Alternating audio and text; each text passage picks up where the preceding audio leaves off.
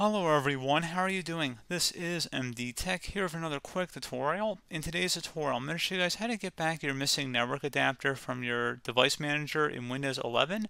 So this should hopefully be a pretty straightforward process here guys, and without further ado, let's go ahead and jump straight into it.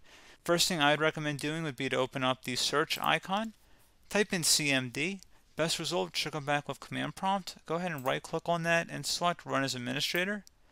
If you receive a user account control prompt, go ahead and select yes. And now into this elevated command line window, you're going to type in ipconfig space forward slash flush DNS. Flush DNS shall be one word attached to that forward slash out front. Hit enter in the keyboard. It should say Windows IP configuration. Successfully flushed the DNS resolver cache. Now you want to type in netsh space winsock W-I-N-S-O-C-K space reset, R-E-S-E-T. Again, N-E-T-S-H space winsock space reset. Hit enter in the keyboard. So, successfully reset the WinSock catalog. You must restart the computer in order to complete the reset. Go ahead and close out of here and restart your computer.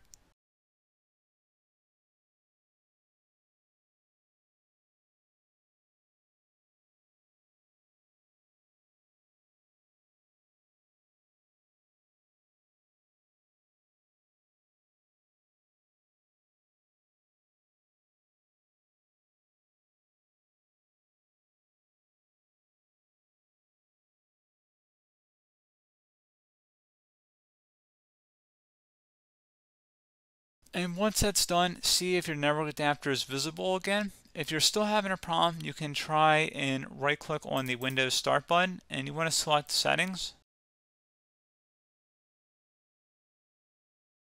Select the Network and Internet option on the left side.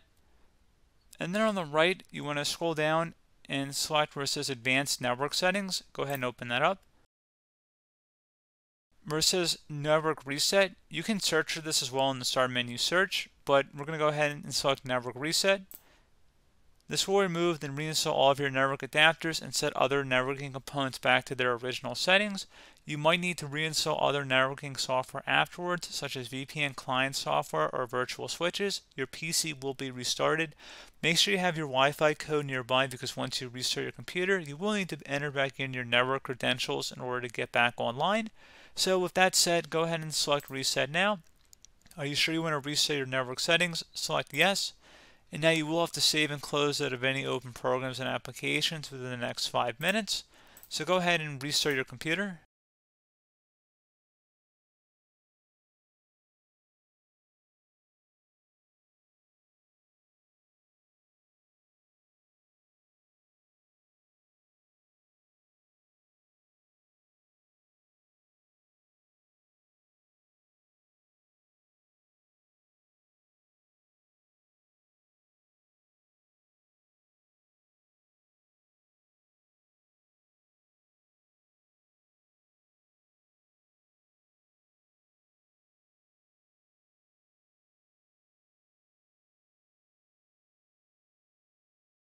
And hopefully at this point you should be good to go. So as always, thank you guys for watching this brief tutorial. Do hope I was able to help you out, and I do look forward to catching you all in the next tutorial.